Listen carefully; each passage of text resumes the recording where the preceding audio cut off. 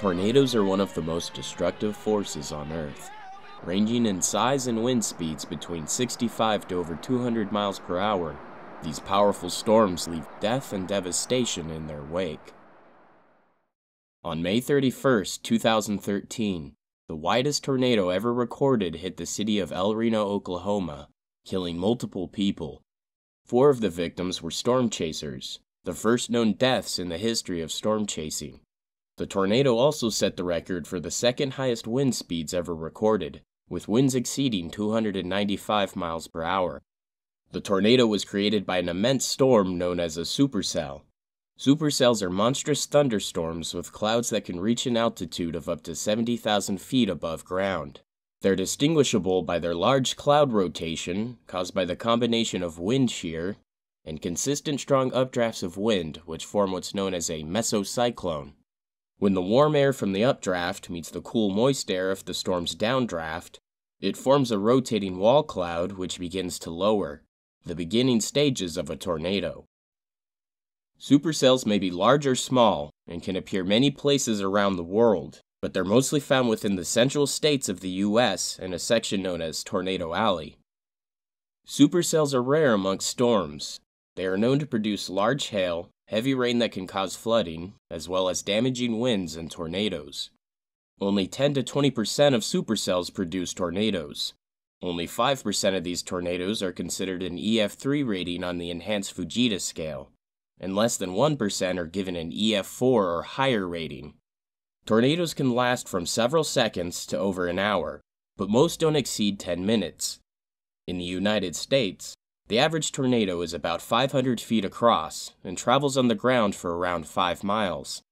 The tornado produced in El Reno on May 31, 2013, lasted 40 minutes, traveled 16.2 miles at speeds of up to 55 miles per hour, and reached a whopping 2.6 miles wide at its peak, 0.3 miles wider than Manhattan.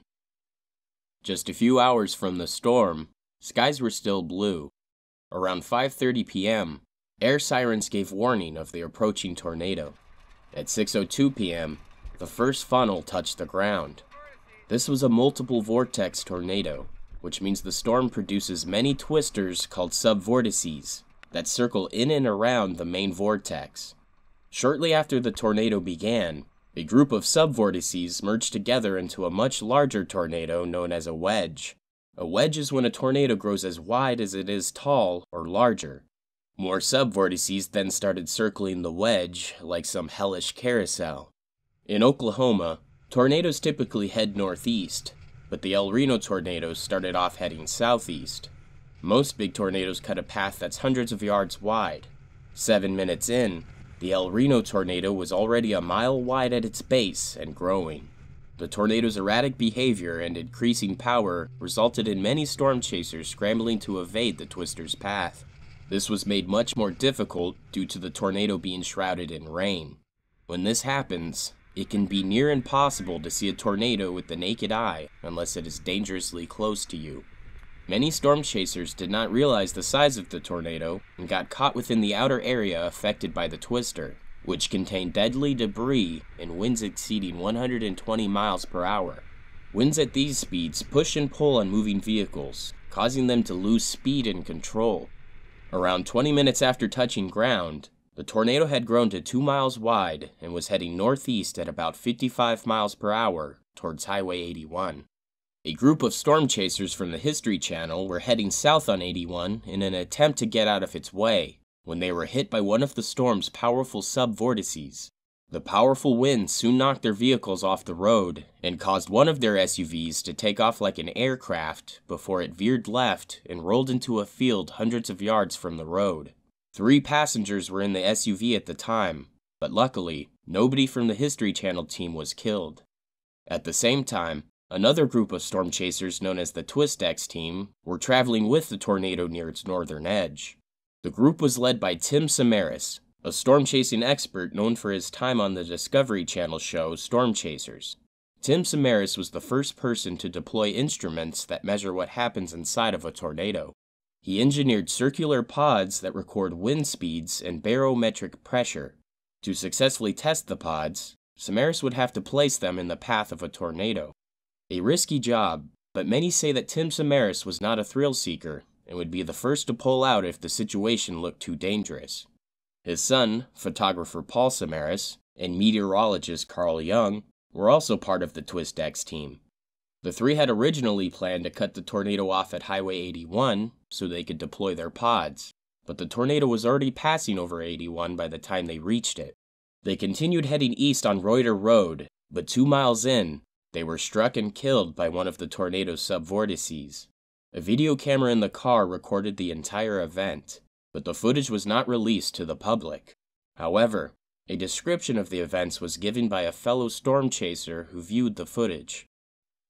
As Twistex headed down Reuter Road, east of Highway 81, they were hit with sudden heavy rain that made it difficult to see and high winds that almost caused the car to swerve off the road.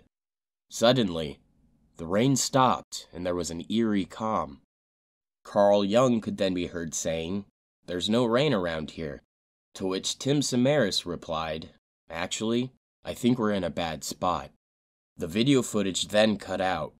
Over their radio, Highway Patrol could hear Tim and Paul Samaras shouting, We're going to die, we're going to die. Reports say the subvortex made a sudden change in direction and headed straight for their car. After arriving at their location, the vortex stopped and remained in place for 20 seconds. Some say it was as if the tornado lunged out at them on purpose.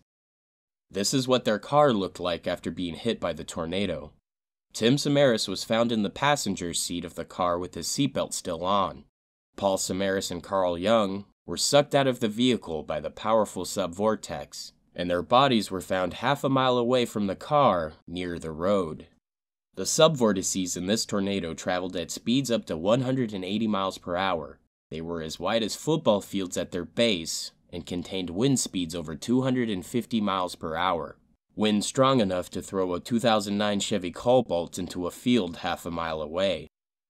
As the tornado passed over the Twistex team, it had reached its peak size and intensity, by 6:27 p.m., the tornado was heading towards Interstate Highway 40, where it made a loop just north of the interstate and began decelerating to less than 10 miles per hour.